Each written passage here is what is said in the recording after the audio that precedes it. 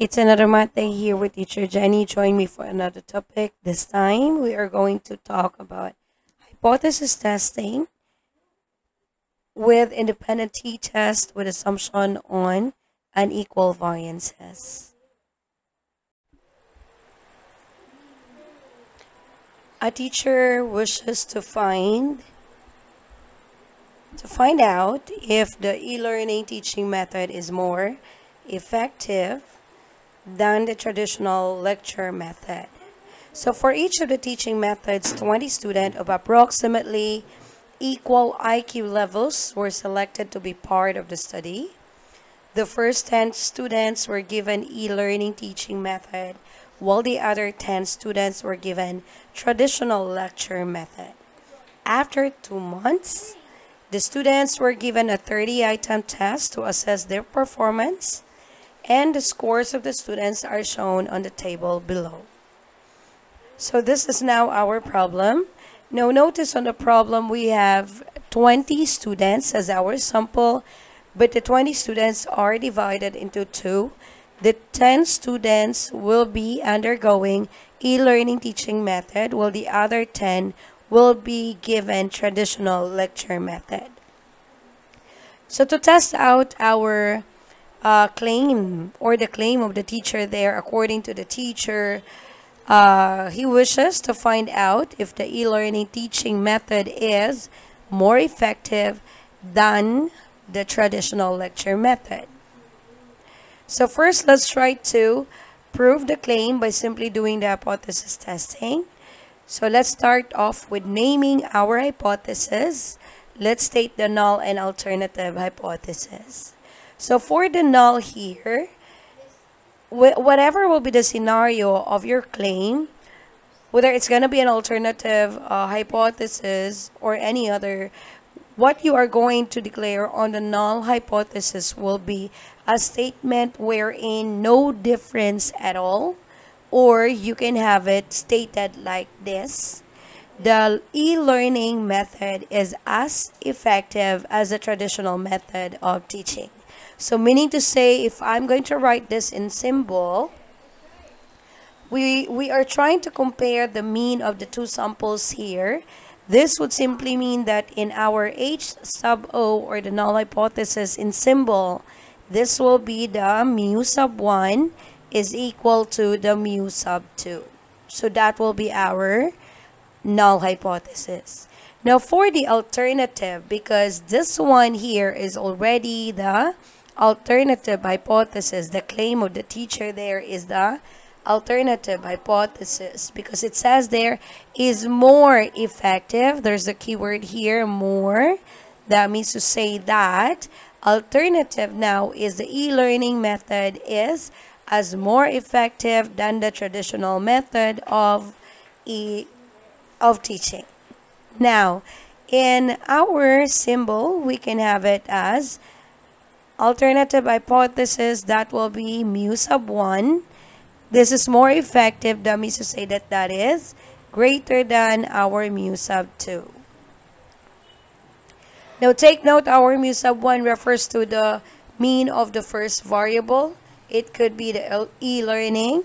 And then the mu sub 2 there is the mean of the, the sample which is on the traditional uh, lecture method.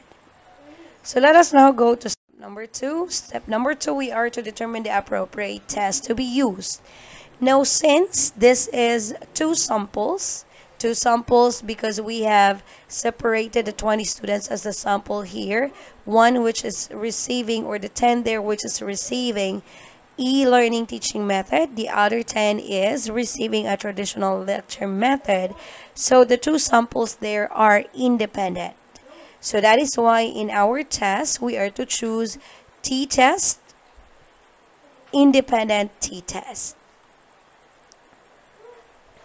Now under independent t-test, there are two types of independent t-test. One which is we assume equal variances. The other one is we, as we assume unequal variances. Later, I'll be explaining that one. We're on step number three, determining the critical value, letter C. So first, we need the information on the type of tail test to use here. So we are going to go back. So from the very beginning or on step number one, we had this information. The null hypothesis is with mu sub 1 equal to mu sub 2. Alternative is with mu sub 1, which is greater than the mu sub 2. So based on the following information, we are going to identify the type of tail test. We are going to refer to the alternative hypothesis all the time in determining our type of tail test. Since this is greater than, the type of tail test to use is a one-tailed test. Now take note there are two different types of one-tailed tests. We have the right-tailed and the left-tailed. So determining that one, that will be based on our symbol here, which is greater than. Greater than symbol, if you try to look at the pointer here, or the tail of that symbol that is pointing towards the right, so this is a right-tailed test.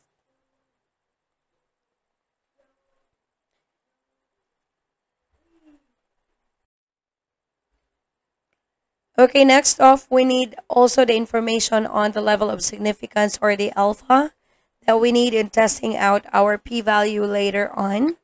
So we have our alpha, which is equal to 0 0.05 or the 5% level of significance. And then we also need the information on the DF, but later on we'll have that one because we have different um, different formula for computing for the DF whenever we've got two samples. So anyways, if we are going to use our Excel, automatic, it will be given as the in part of the information of the different measures that we are going to um, receive whenever we do t-tests. So let's now have uh, the critical value as well. So we have now the different scores of the students with the different learning method. So first, let's try to check whether they have equal variances or unequal variances by going to the data analysis and getting the descriptive statistics for each of the variable. So we'll start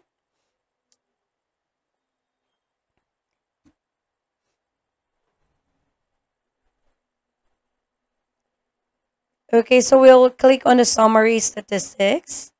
And that is now our descriptive measures for the first variable, the e-learning method. So we are going to round it off to three decimal places. And then we go for the second learning method, the traditional.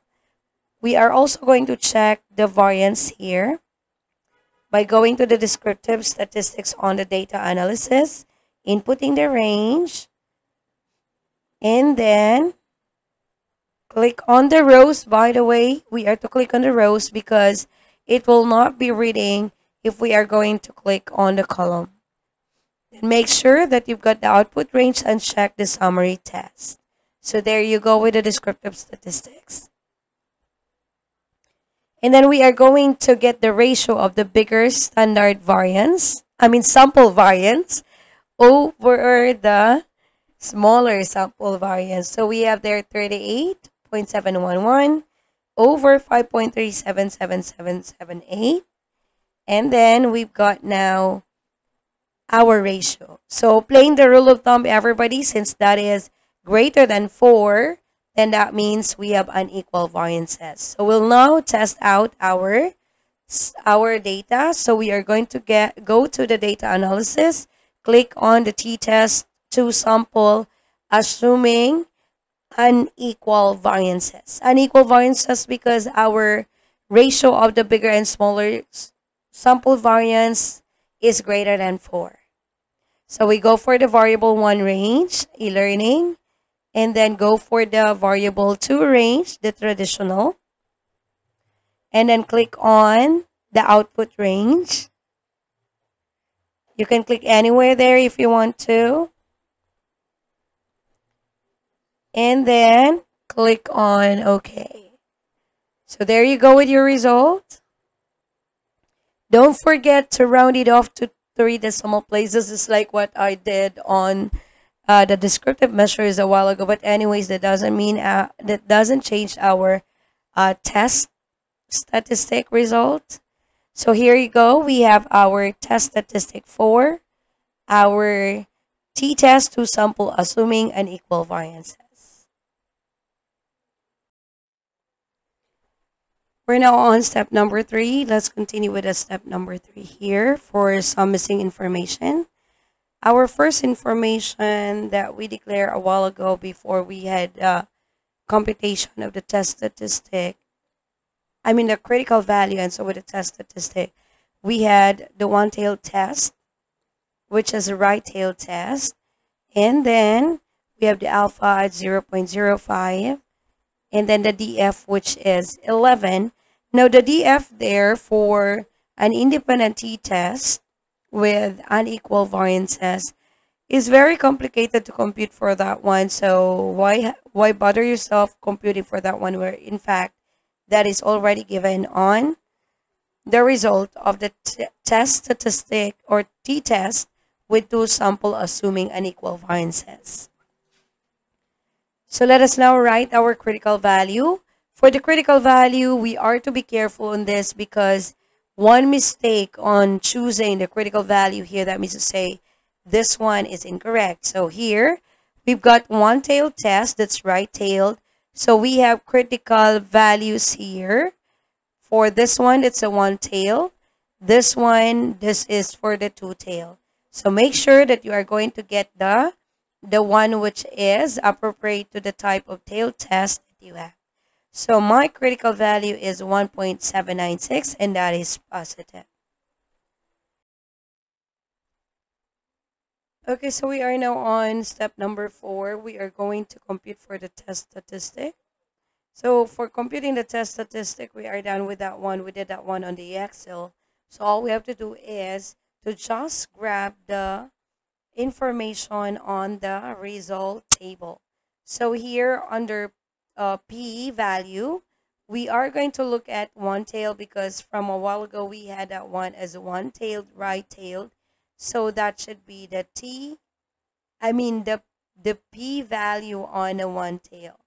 So this is 0 0.042. Now for the T value or the, the value of the test statistic here, this is what we have under the T stat which is negative 1.905. So if you wanted to compare your t value and so with a critical value for the decision making, you may do so. Or if you want to go for the p-value and then compare that one with the level of significance, you may do so. But anyways, majority of the research uh, group, they will be using the p-value comparing that one with the level of significance for the decision making. So we will be do also doing that one here. We are now on our last part of our uh, hypothesis testing. So we are going to decide as to whether to reject or fail to reject our null hypothesis based on our p-value on the result of our test. So based on the table here, we've got p-value on one tail, or this is actually our t-value. So we will be using this one in comparison with our alpha, which is 0 0.05. So since we have our p-value, which is 0 0.042, comparing that one with 0 0.05, we can say that since 0 0.042 is less than 0 0.05, we are going to reject our null hypothesis. So in conclusion, we can say that the claim of the teacher really is correct, that the e-learning met method is as more effective than the traditional method of teaching because we have rejected the null hypothesis. Yes, there is difference between our um, value on the mean of the two samples there. So that is why we are rejecting the null hypothesis. And of course, we have no choice but to accept the claim of the teacher. This is now your teacher Jenny saying good luck and please practice more on doing the hypothesis testing.